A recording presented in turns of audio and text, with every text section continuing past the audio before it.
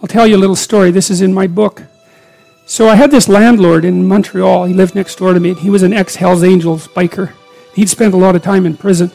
And his wife had borderline personality disorder, and she committed suicide when I lived there. My wife and I went over there and we had spaghetti dinner one night, and we sort of communicated. And I bought a poster from him because he made these wooden posters that had neon on them, and that's how he made a living. He'd kind of trained himself to be a bit of an electronics guy. And so he made these things. And he was trying to quit drinking, and we talked about that. He was a lot older than me. He was like 20 years older than me. I was about 25 at this point. And uh, we got along pretty well. But every now and then he'd go out and get and drink. And he could really drink, you know, like he was one of these guys who could drink like 60 beer. And you think, well, no one can drink that much, and you're wrong. I studied alcohol for like 10 years. Some of my subjects' fathers drank 40 ounces of vodka a day and had been doing it for 20 years. So you can drink a lot, and he could drink a lot. And what would happen? He was trying to not drink, but he'd go out and go on a binge, and then he'd be gone for like three days, and he'd drink up all his money, and then we'd hear him out in the backyard howling at the moon with this little little ugly dog he had, you know. and he'd howl, and the dog would howl, and he'd howl, and the dog would howl, and and it was rather unsettling, and made my wife nervous. But worse, you know, now and then he'd come to the door at like three in the morning, eh?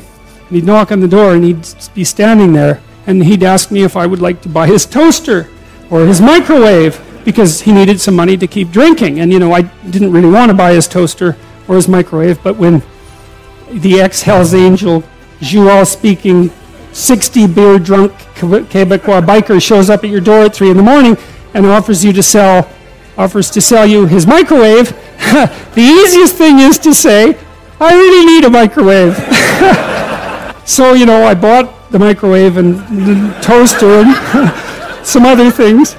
So one time he took me out on his 750 Honda and he put me on the back of it. He wanted to show me his lair, I guess, his hangouts. And I got his wife's helmet on, but it didn't fit. It just sit on the top of my head. and he said, I got on the bike and he said, if the cops chase us, we're not stopping. and, then, and then away we went. And we went to these like these bars downtown on Saint Laurent. They were very rough places. And he got into like four fights that night because he was a rough guy, you know, and these kind of punk guys would come up to him and sort of challenge him and act stupidly around him. And he was very skeptical. And if you were acting stupidly around him for any length of time, he just hit you because he felt that that's what you deserved. And perhaps he was right, you know. So, so I had first-hand opportunity to observe him. So anyways, he, sure enough, about a week or two after we had this conversation, he showed up at the door. Knock, knock, knock, you know. I opened the door and he was standing there, you know, with his eyes kind of half closed and he was swaying. And he had, I don't remember what the appliance was this time, but he wanted to sell it to me. And I said, I'm not, Paul, I can't buy this.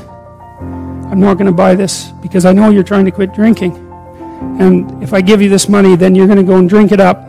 And it's not going to be good for you. And what else did I tell him? I think I told him as well that this whole thing of him coming to my house at like 2 in the morning was scaring my wife, who he liked, and that it had to stop. And believe me, man, I was thinking about what I was saying. Because he was watching me like a rough guy watches you. And a rough guy watches you like this. He thinks, if you say one thing that indicates contempt, you're going to bloody well pay for it.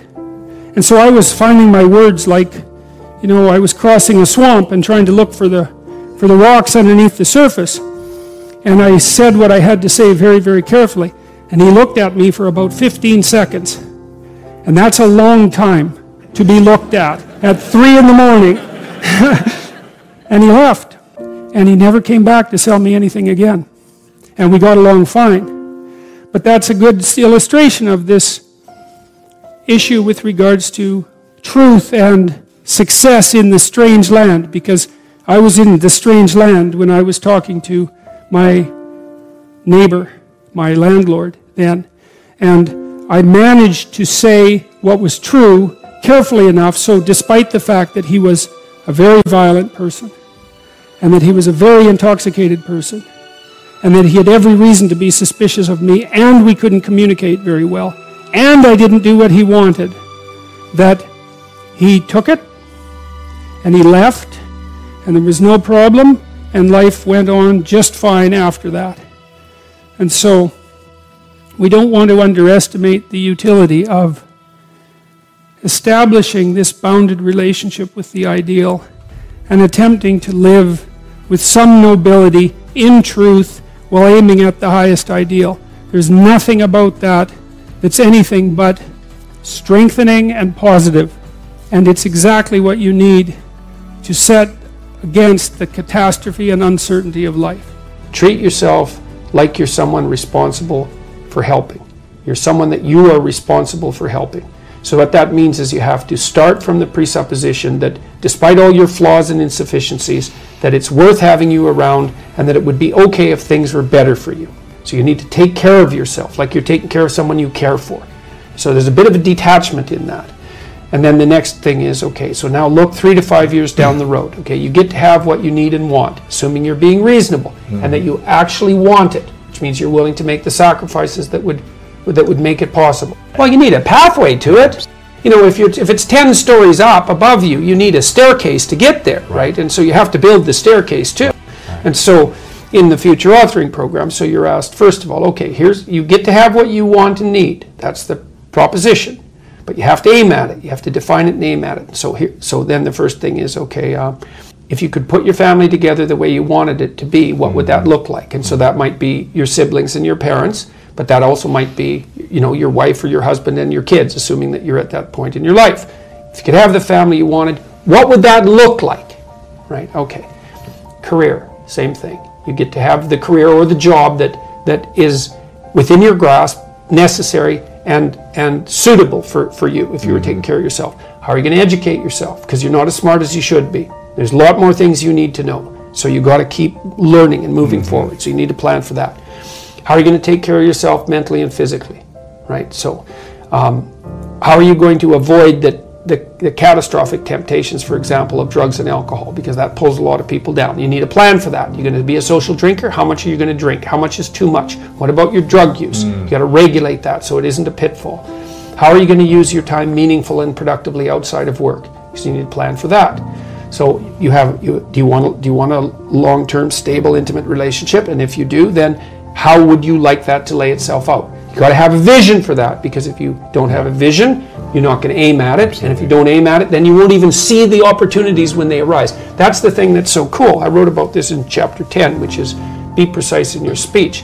It's a chapter about the fact that aims structure your perceptions. So, for example, once you aim at something, your brain, literally, the perceptual structures in your brain, in your visual cortex, reorient themselves to calculate a pathway to the aim. And then what they show you in the world is obstacles to that path and mm-hmm. and open pathways to the path. That's actually how the world reveals itself. Just like just like when you're driving in a car and you have a map and you or you aim at a particular place, then all the things that right. are related to that place show up in the world. It's exactly the same thing because you are traveling through time and space, right? And you need a map. And so so after you answer these seven questions and you're encouraged to do it badly because a bad plan is better than no plan It gives you something to improve. Mm-hmm. So even if your aim is vague, and even if it's off target, if you start aiming and you see you're off target, then you can shift and you can make it more precise.